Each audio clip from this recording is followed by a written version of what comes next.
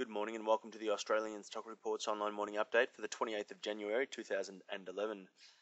Global markets eked out more gains overnight on solid US earnings data. In the States, stocks were lifted by stronger than expected earnings and existing home sales data.